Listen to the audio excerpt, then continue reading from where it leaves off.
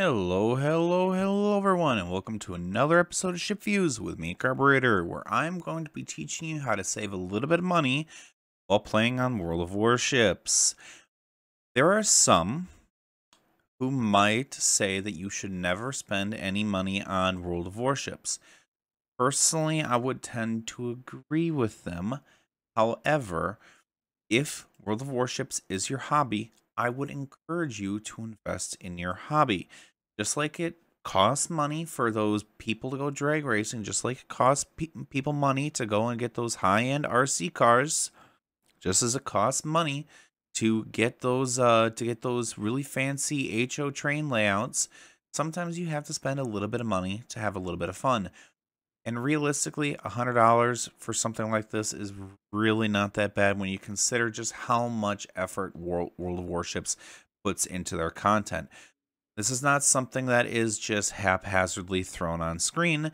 You can see they do at least try, or at least try, maybe not that hard sometimes, but they do try to provide good content. But anyway, I wanted to teach you guys a little bit of a trick on how to save some money.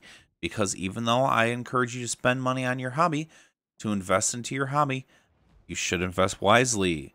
So if we head into the armory, you can actually see that you may purchase the Dalian for 19,300 doubloons. If we head into the premium shop, you can see 19,300 doubloons is $77.20 the same exact amount as if you were to just purchase the Dalian, $77.20. However, there is a little bit of a trick. If you don't mind spending a little bit over the ship, you can get the doubloons in one of these containers. Now, why is that crucial? Because you do receive a slight discount if we look at this 25,000 doubloons, if we go down and we go to purchase any amount of doubloons and we go to 25,000 doubloons, that's $100. We're getting a dollar off. Doesn't sound like much, but you watch your nickels and your dimes and your dollars take care of themselves. You've already committed to spending money on World of Warships. So why not spend money wisely? If you can save a little bit of money somewhere, you can save a little bit of money somewhere, and those doubloons will always come in handy. Always come in handy. So let's go ahead, purchase this. You guys don't need to see this part, so I'll invite you guys back when we are import. And just like that, the purchase has been made.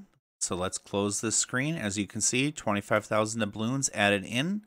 So let's go ahead and purchase the Dalian. And just like that, I saved a little bit of money. Not much, but a little bit of money. And now I have some extra doubloons to do with what I please. If I choose to waste some by maybe, oh, I don't know, buying Pan-Asian bundles, I can waste them buying Pan-Asian bundles.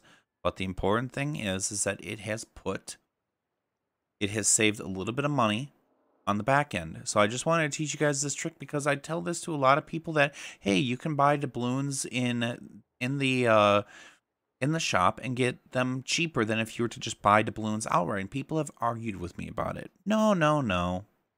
Yes, yes, yes.